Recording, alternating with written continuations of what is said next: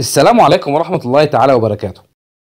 عمرك كنت قاعد مع حد من أصحابك أو أهلك أو قرايبك أو حتى في اجتماع ومرة واحدة جالك زغطة وبمجرد ما بتشرب شوية مية أو تكتم نفسك لفترة قصيرة بتروح منك الزغطة دي واللي بتحطك تقريبا في موقف محرج بيكون مفاجئ ليك. الزغطة تقريبا كلنا بيتخيلها إن هي شيء عادي بيحصل لأي حد وشيء طبيعي.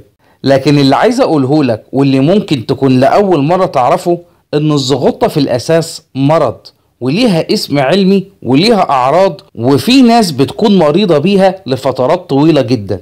الزغطة اسمها العلمي مرض الفواق واللي ممكن تستمر معاك لأيام أو شهور أو حتى لسنين. علشان كده هنتكلم في الفيديو ده عن مرض الفواق أو الحاذوقة أو الزغطة ودي كلها أسماء بتتسمى بيها حسب كل مكان وكل دولة وحسب كل لهجة. بس قبل أي حاجة ما تنساش تعمل لايك للفيديو وتشترك في القناة وتفعل الجرس علشان تكون واحد من أول المشتركين اللي يوصل لهم المعلومة.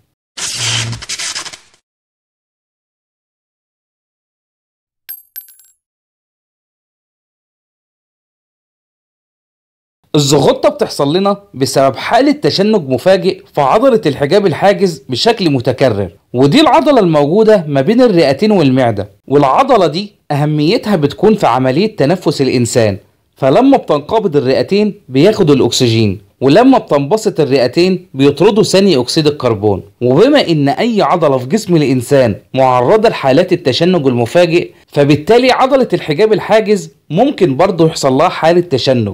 ولما بيحصل لها حالة تشنج أو انقباض بصورة مفاجئة بتخلي الحنجرة والأحبال الصوتية يقربوا جدا من بعض وده اللي بيخلي الهواء الموجود في الرئتين يخرج بشكل مفاجئ وسريع وهو ده اللي بيسبب الصوت الغريب اللي بيخرج منك واللي إحنا بنسميه الزغطة. الزغطة عامة بتيجي للإنسان بشكل مفاجئ وممكن تستمر معاه لعدة دقائق بسيطة جدا وفي حالات بتستمر فيها الزغطة لمدة بتوصل لأكتر من 8 ساعات. وفي الحالة دي بتكون حالات مقلقة وبيستحسن فيها استشارة الطبيب. وفي حالات مزعجة جدا منها واللي ممكن توصل لأكتر من 48 ساعة متواصلة.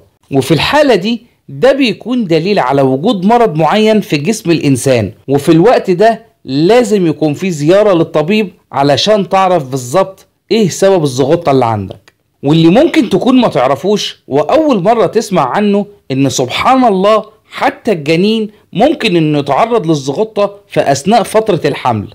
ومن المعروف إن الطفل الرضيع هو من أكتر الفئات العمرية اللي بتتعرض لحالات الزغطة.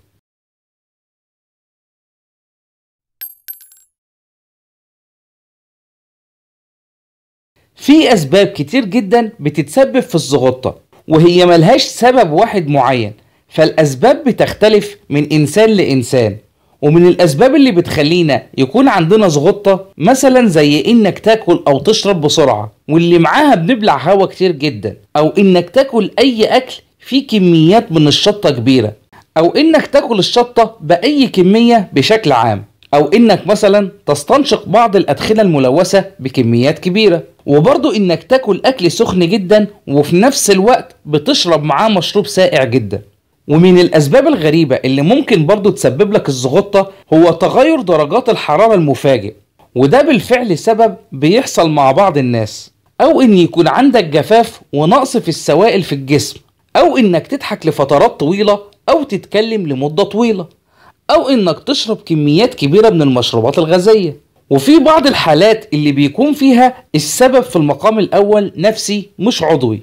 وفي الغالب دي معظم الأسباب اللي ممكن تسبب لك الزغطة المؤقتة واللي بتكون لوقت قصير. وفي بعض الأمراض اللي بيكون ليها علاقة إن يجيلك زغطة زي الأمراض المتعلقة بالحجاب الحاجز نفسه أو مثلا أمراض الكبد والالتهاب الرئوي وجراحات البطن أو السكتات الدماغية وبعض أورام المخ أو إنك تتناول بعض الأدوية الطبية اللي بيكون ليها آثار جانبية أو التهاب العصب المبهم واللي بيسمى بالعصب العاشر. أو بعض الاضطرابات اللي بتكون في المعدة وارتجاع المريء. وبرضه التهاب الحلق أو التهاب طبلة الأذن أو مرضى السكري أو نقص الصوديوم في الجسم. وكل الأمراض اللي قلناها دي هي اللي ممكن تتسبب في إن يكون عندك زغطة. لكن في الحالة دي بتكون مدة الزغطة طويلة شوية. بس في الحالة دي لازم يكون في تدخل للطبيب أو على الأقل في استشارة للطبيب. ودلوقتي بعد ما عرفتوا أسباب الزغطة المؤقتة تحديدا أنت كمان قول لنا على أكتر موقف محرج اتحطيت فيه بسبب الزغطة. اكتب لنا في الكومنتات إيه اللي حصل معاك. وبالمرة وأنت نازل ما تنساش تعمل لايك للفيديو وتشترك في القناة لو أول مرة تشوفنا.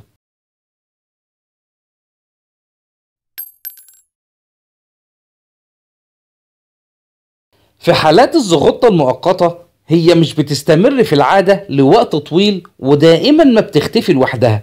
لكن في بعض الطرق اللي ممكن تساعدك في إنك تتخلص منها بشكل أسرع زي إنك تحبس نفسك لأطول فترة ممكنة عن طريق إنك بتاخد نفس عميق لمدة ما تقلش عن 30 ثانية وبعدها بتخرج النفس بشكل بطيء مع تكرار العملية دي أكتر من مرة لحد ما تحس إن الزغطة اختفت من عندك. والعملية دي بتتسبب في ارتخاء عضلة الحجاب الحاجز اللي بتكون متشنجة وبسببها بيحصل الزغطة. أو لو أنت تعرف تحدد بالظبط المنطقة اللي فيها الحجاب الحاجز فأنت ممكن تعمل لها عملية مساج وتدليك بسيط لحد ما تحس إن أنت ارتحت والزغطة اختفت من عندك. أو إنك ممكن تشرب كمية من المية بشكل سريع أكتر من مرة. أو إنك تتغرغر بالمية لمدة 30 ثانية. أو إنك تتنفس جوه كيس. وده ببساطة بتقدر تعمله لما بتجيب كيس بلاستيك وبتنفخه وبتتنفس جواه لمدة 30 ثانية. أو إنك برضه ممكن تتنفس بسرعة وترفع إيدك لفوق لمدة 30 ثانية مع تكرار العملية أكتر من مرة. أو إنك تاكل معلقة صغيرة من السكر أو عسل النحل. وممكن برضه إنك تندغ لبان. وأغرب الطرق واللي هي طريقة كوميدية جدا ومش علمية نهائيا بس في ناس كتير أكدت إنها بالفعل بتجيب نتيجة واللي تقريبا إحنا توارثناها من الأجداد وهي إنك تفزع الشخص أو تخضه. وده بشكل أو بآخر بتخلي الزغطة تختفي من عنده في الوقت ده.